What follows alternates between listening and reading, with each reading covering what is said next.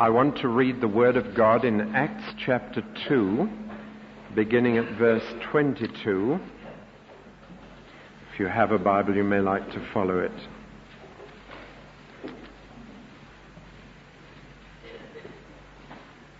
It's part of Peter's first sermon after the day of Pentecost. Magnificent sermon, no sermon ever like it, I think. 3,000 people converted at the end of this sermon. It wasn't a long one, but it was a deep one. Verse 22. Listen to these words, men of Israel. Jesus of Nazareth was a man whose divine mission was clearly shown to you by the miracles, wonders, and signs which God did through him. You yourselves know this for it took place here among you. God, in His own will and knowledge, had already decided that Jesus would be handed over to you, and you killed him by letting sinful men nail him to the cross. But God raised him from the dead. He set him free from the pains of death because it was impossible that death should hold him prisoner. For David said about him, I saw the Lord before me at all times. He is at my right side, so that I will not be troubled. Because of this, my heart is glad and my words are full of joy. And I, mortal though I am, will rest assured in hope, because you will not abandon my soul in the world of the dead. You will not allow your devoted servant to suffer decay. You have shown me the paths that lead to life, and by your presence you will fill me with joy. Brothers, I must speak to you quite plainly about our patriarch David. He died and was buried, and his grave is here with us to this very day.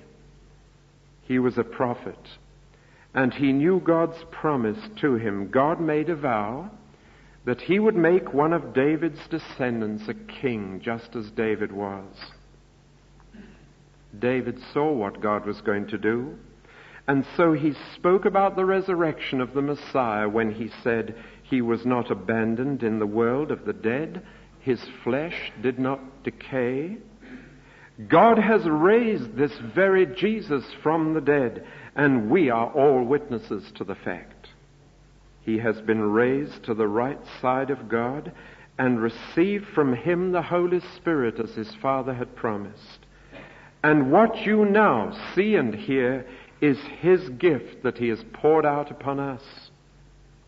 For David himself did not go up into heaven, rather he said, The Lord said to my Lord, Sit here at my right side until I put your enemies as a footstool under your feet.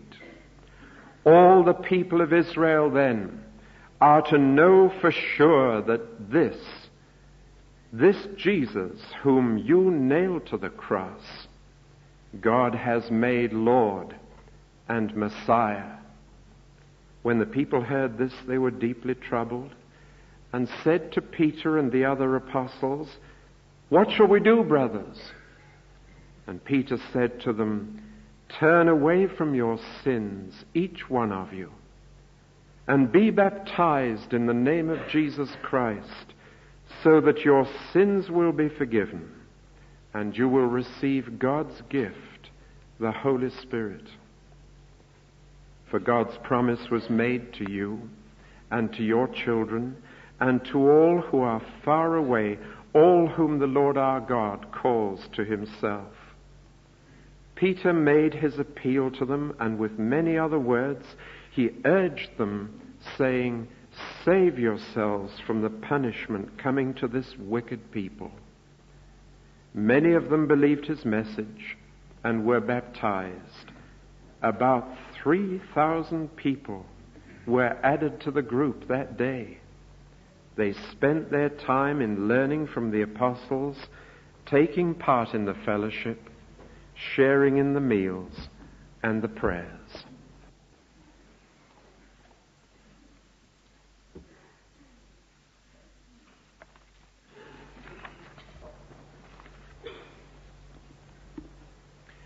I want to tell you tonight why Christianity is called a gospel.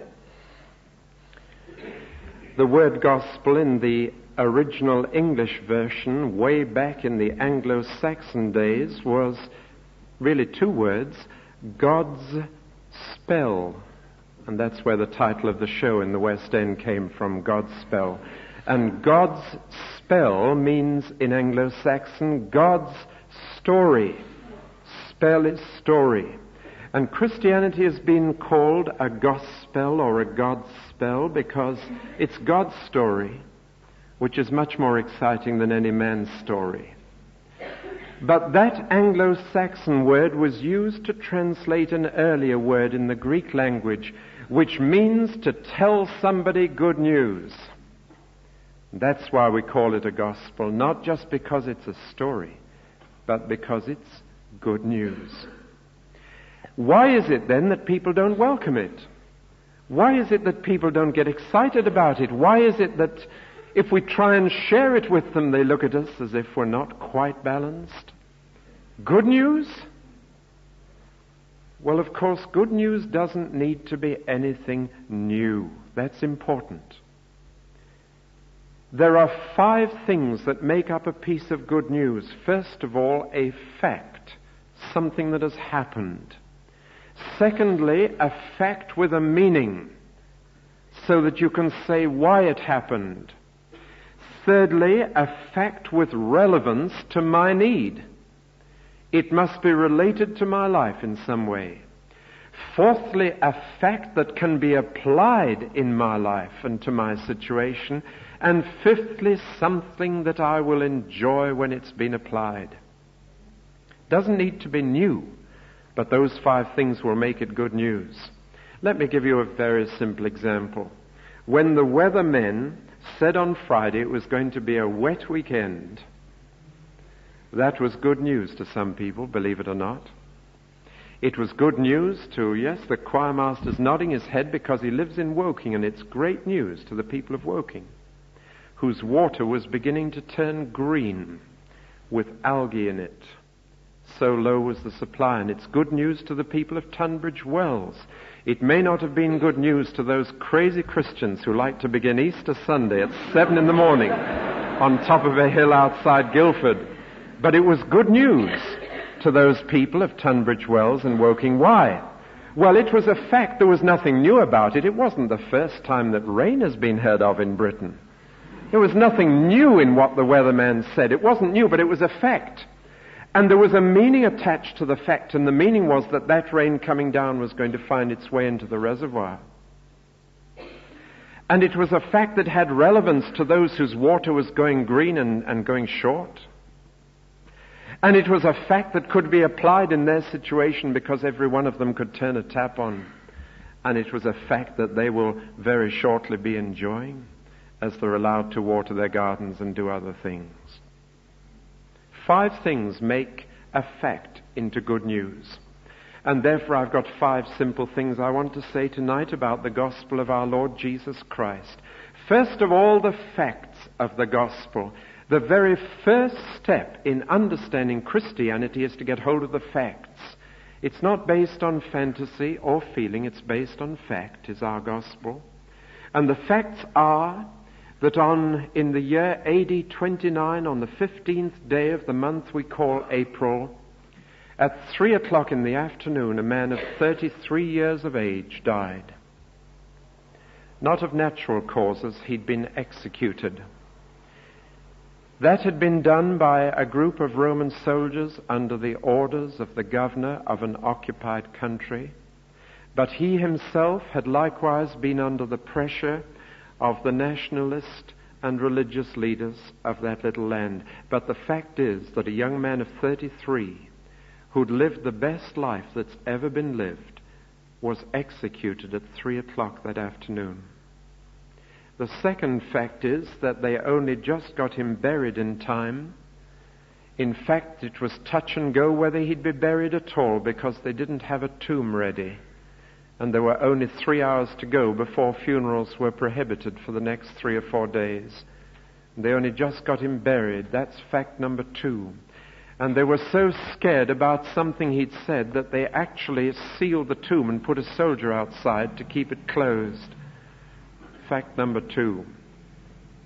Fact number three was that on the third day he got out of that tomb.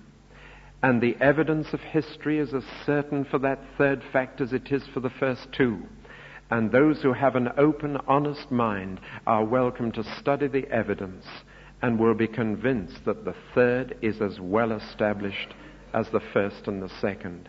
Those are the facts of the gospel.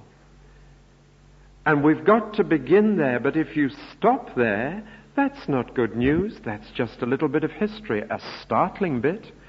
Something that doesn't happen every day, true, but this is a thousand miles away and two thousand years ago.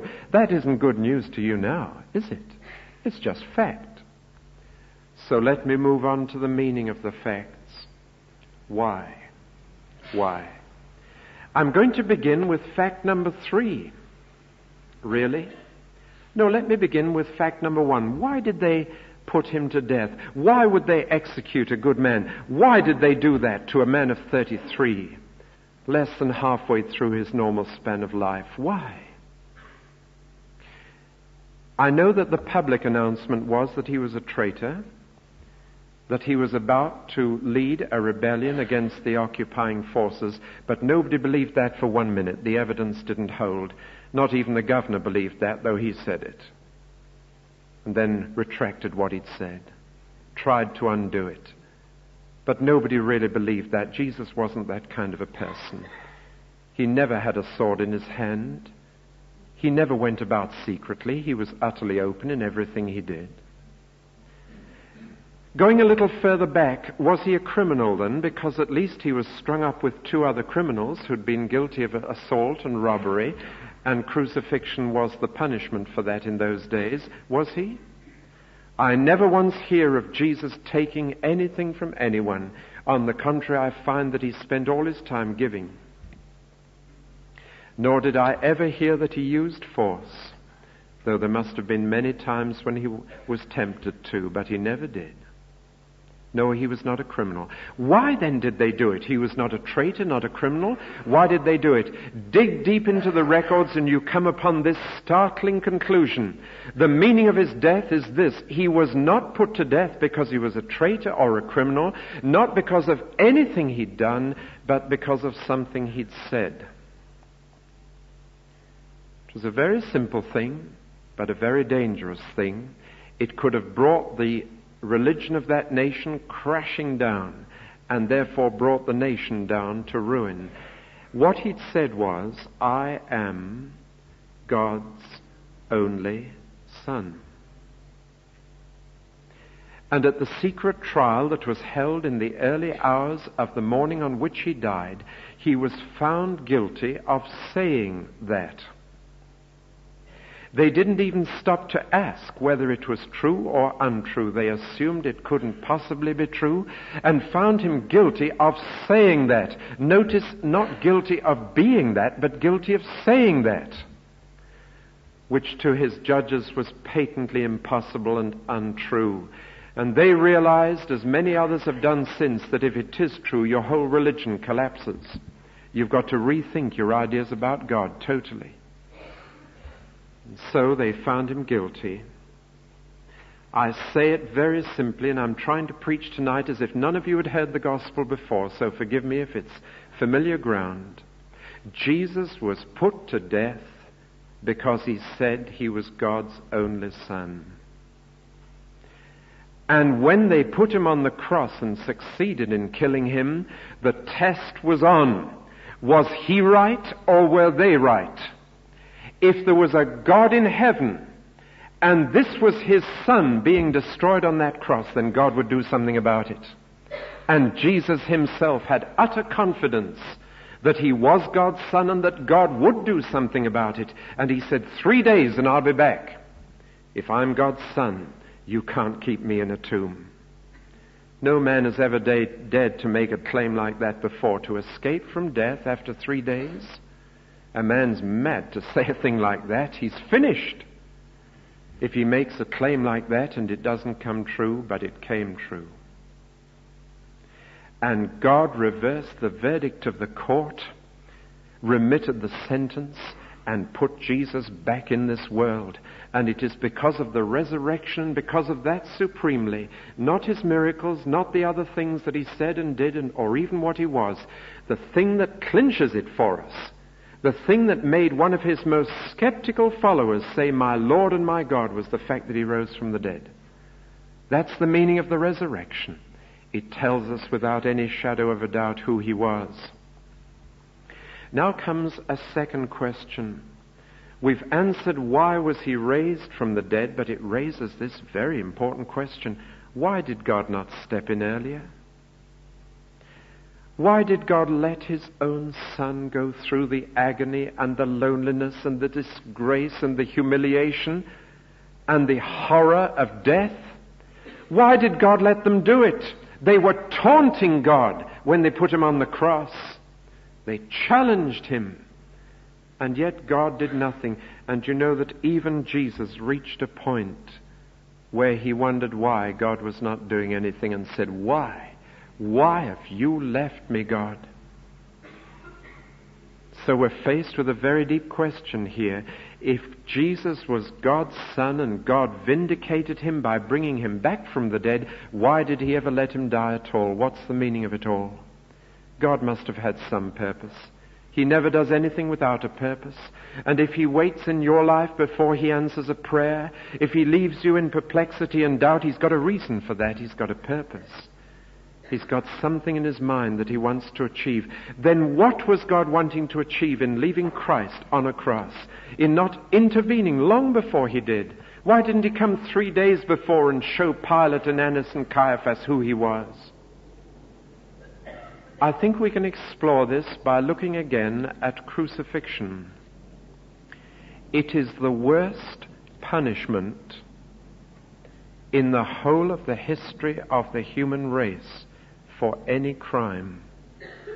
It seems to combine all the others the separation from loved ones, physical torture, loneliness, loss of life, all the other punishments that men have used seem summed up in one crucifixion. It was the worst. I think I could say that that punishment would cover every crime that had ever been committed in men's laws. But I can say with certainty it covered every crime committed in God's law book.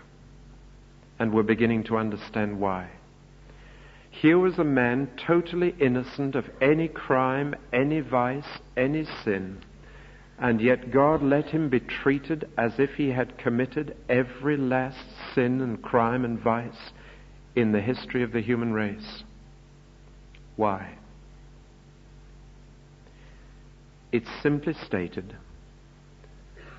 The Book of Common Prayer of the Church of England states it in rather wordy theological terms, but listen. He made there, by his oblation of himself, once offered, a full, perfect, and sufficient sacrifice for the sins of the whole world. And the Bible, in simpler language, just says, Christ died for our sins. Simple as that. We now know why he rose to show us who he was. We now know why he died for our sins. That's the meaning. I've told you the facts, I've told you the meaning, and still it's not good news to you. It may be of greater interest. And somebody may say to me as they leave the church or say to someone else tonight, well, that helped me to see things in a new light. I was very interested. It explained quite a lot that I hadn't understood before. And if that's all, it's not good news, and you won't go spreading it around. You won't go telling anybody. It's not good news yet. For the third thing I must establish before the gospel is good news is its relevance to your condition. It's got to appear that it has something to do with you tomorrow, today, tonight. And I can do that by stating three very simple facts about yourself which relate you to this story. Fact number one You have broken God's laws. When God gave you life, He expected you to live according to His standards, and you haven't done. Neither has your preacher. And it is not that we have gone wrong through ignorance. We went wrong through deliberate disobedience. There isn't one of us who has not known a better way than the life we have lived. Not one of us. There is not one of us can say that I am now the person that I know I could be. I have lived up to all the light I have been given. I have followed my conscience and I have done what I know to be right. There isn't any man who can say that. You have broken God's laws. However much or however little you knew of them, you broke them. That's fact number one. Fact number two is this you will certainly be punished for breaking God's laws. God is a just God. God is a holy God. And God is not mocked. We saw that last Sunday morning in Galatians 6. Don't delude yourself. Don't fool yourself. God is not fooled. Whatever a man sows, that will he also reap. You'll not get away with it. God will have you out of your grave to face the charge, and He has already fixed the date on which your case comes up. And the third fact that I can state is this you are therefore going to die. For in God's law book there is only one punishment adequate to cover sin, and that is death. And I can understand that. It's logical. God is saying, Why should you go on living in my universe? You're not living the way I want you to live. You're spoiling my universe. Why should I allow you to go on living in it forever and spoiling it forever? And so God has said you must die.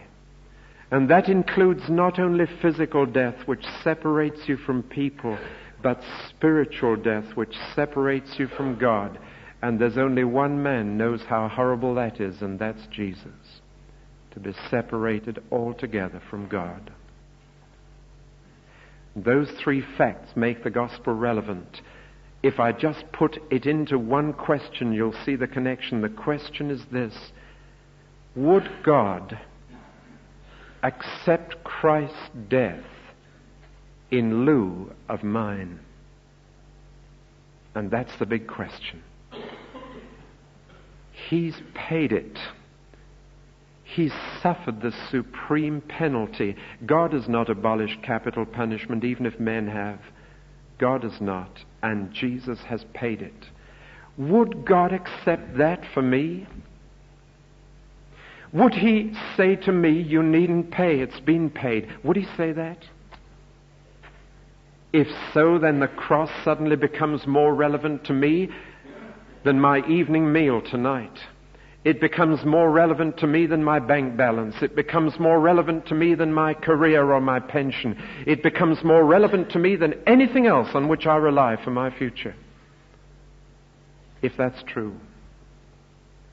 And the good news is it is true, provided you move on to step four application. Application. It's no use a loudspeaker van going round the streets saying, the water is now in the reservoir. You can use it. And people shouting hallelujah, but not turning their taps on. No use at all. I've told you the facts of the gospel. I've given you the meaning of the gospel. I've shown you the relevance of the gospel. But you can go as far as that and still it's not good news and still you wouldn't share it with anybody else because it's not good news to you yet.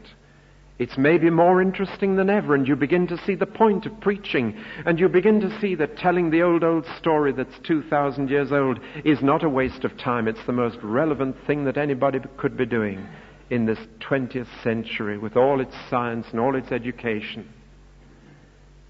Application.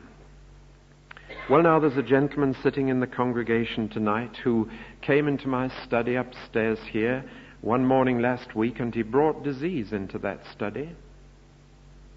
He brought a tiny little plastic tube, and he told me it was full of virus.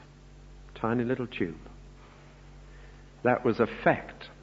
The man came into my study with disease in a, in a little plastic flask. Fact. The meaning of the fact?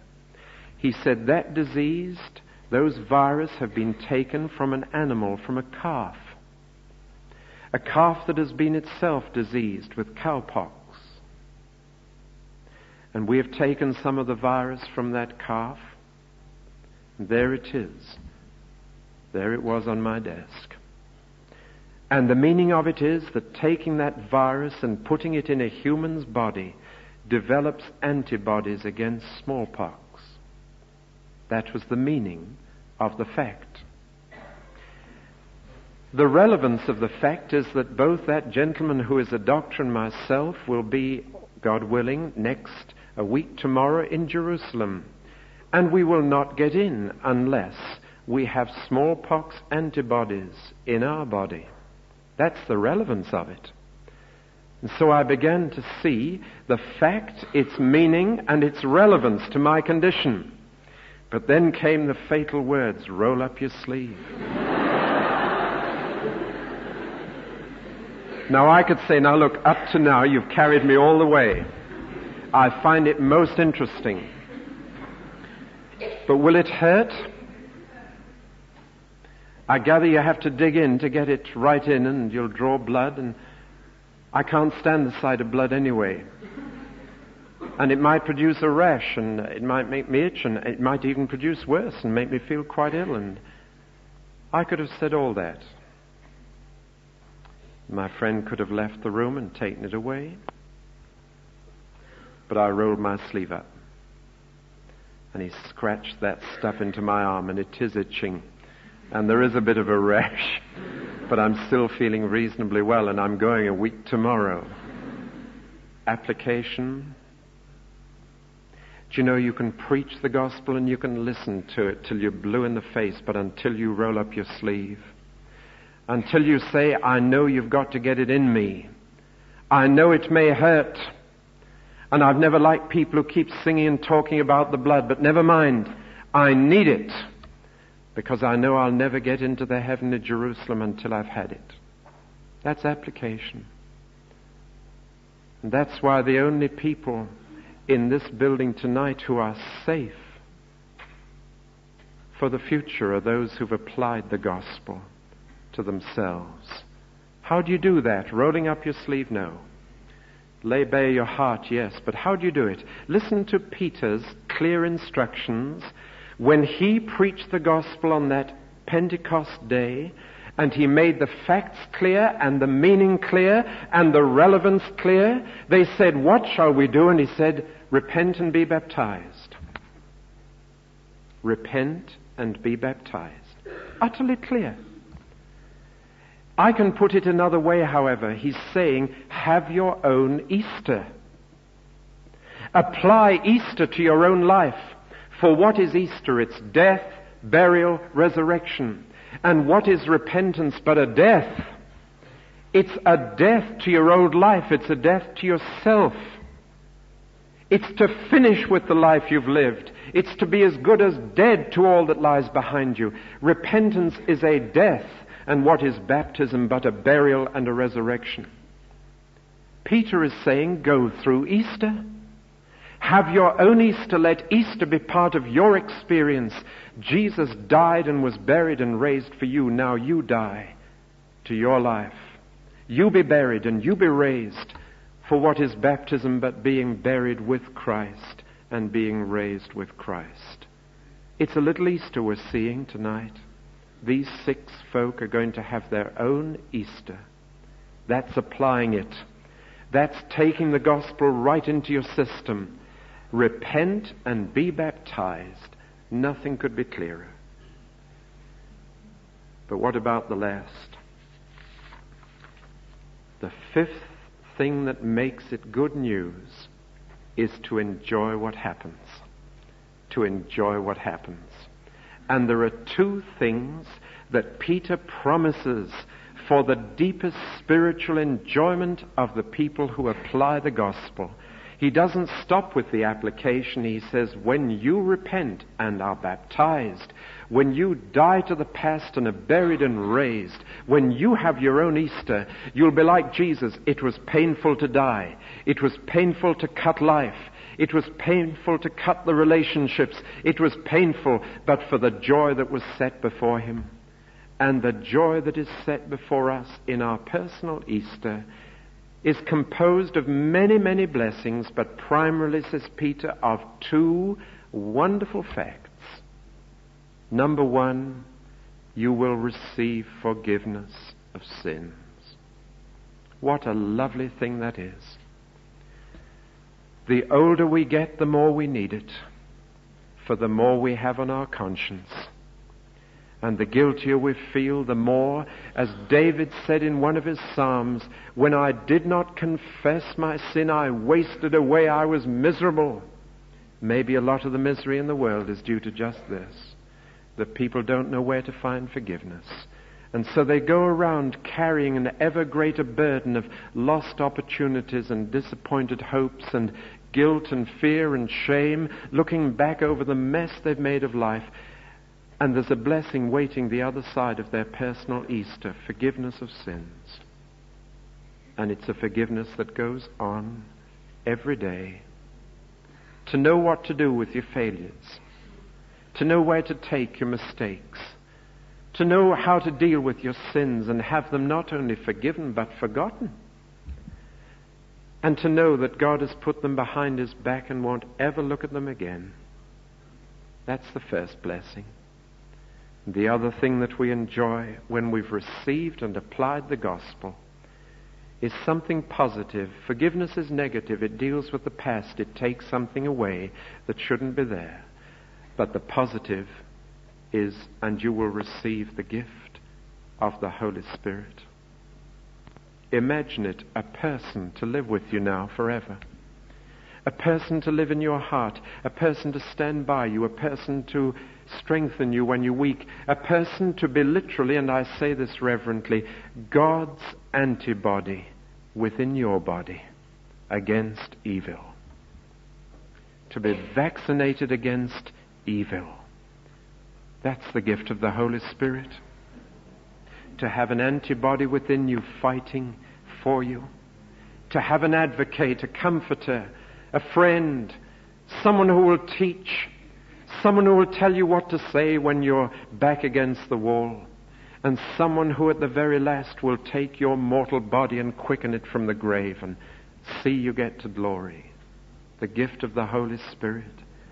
Someone who will give you gifts that you never had before so that you can exercise a helpful ministry towards others in need. Someone who will produce facets or fruits within your character and personality that were never there before.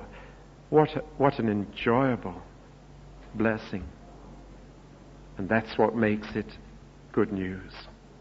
I've taken you right round the circle from fact back to fact the facts of the gospel Jesus died on a cross, was buried, rose again the third day. The meaning of the gospel, he died for our sins and rose because he was God's Son. The relevance of the gospel, you have broken God's laws. You will certainly be punished, and therefore you will die. But the application of the gospel, God will accept Jesus' death instead of yours if you will repent and be baptized and have your own Easter. And the enjoyment of the gospel, forgiveness of sins, and the gift of God's Holy Spirit. What more could I say? That's good news. And that is the news for April the 22nd, 1973 and for every other day until Jesus Christ comes back. Let us pray.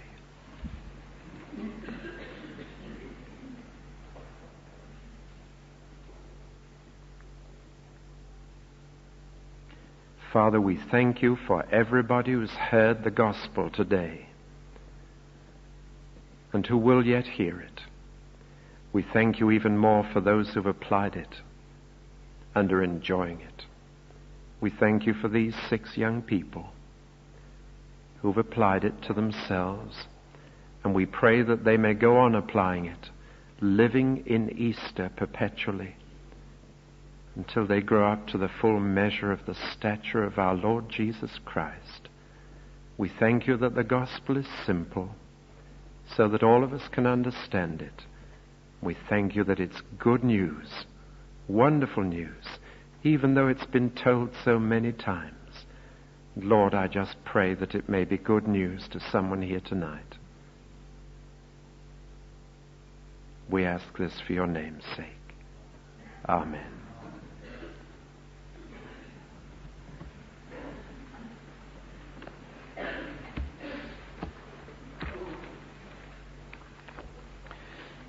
We're going to sing a hymn now in which we identify ourselves with the six candidates for baptism.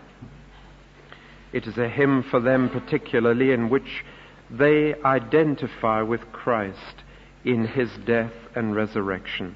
But we can do the same with them in spirit. Master, we thy footsteps follow. We thy word obey. Hear us thy dear name confessing while we pray now into thy death baptized, we ourselves would be dead to all the sin that made thy Calvary. Rising with thee, make us like thee, in thy love and care, in thy zeal and in thy labor and thy prayer. Let the love that knows no failing cast out all our fears. Let thy pure and faithful Spirit fill our years till we hear the trumpet sounding on the other side, and forever in thy heaven we abide. 296.